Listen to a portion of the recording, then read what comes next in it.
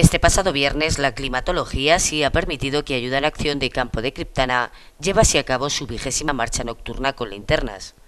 Veinte años en los que esta organización, y a través de recorridos por distintos enclaves urbanos y rurales, ha venido mostrando gran parte de la historia de Campo de Criptana de acuerdo a cada uno de los lugares visitados.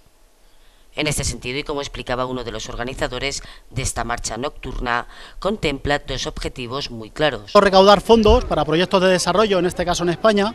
y por otro lado, eh, formar eh, conocer un poco el patrimonio histórico, etnográfico,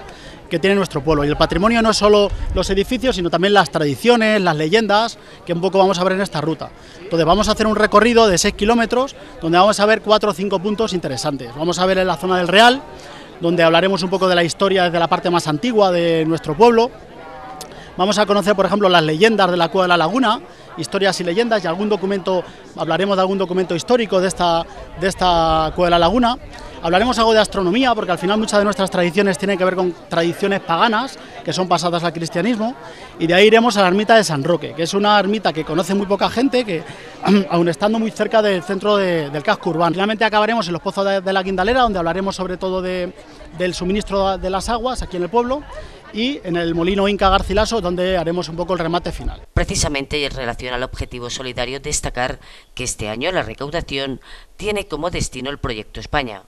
un proyecto ligado a la concesión de ayudas para becas de educación y comedores escolares. Objetivos y recorridos que cada año llaman la atención de más gente, en tanto que son muchas las personas y muchas las instituciones que participan y apoyan el desarrollo de la misma. Agradecer a todos los patrocinadores, colaboradores, todas las personas y voluntarios que han hecho posible esta ruta nocturna y animaros a todos que descubráis que siempre a finales de junio, primeros de julio, coincidiendo con luna llena, si puede ser, pues hacemos una ruta muy bonita en el que vemos nuestros parajes, nuestro entorno y gracias a nuestro compañero Santiago Lázaro que se documenta bien de, de cosas muy antiguas que hemos descubierto, pues descubrimos cosas para trasladar a nuestros hijos, a nuestros nietos y a las futuras generaciones. Con este agradecimiento a todas las personas que hacen posible que Ayuda en Acción lleve ya 20 años realizando esta actividad, los marchadores comenzaban su ruta para descubrir parte de la historia de Campo de Criptana.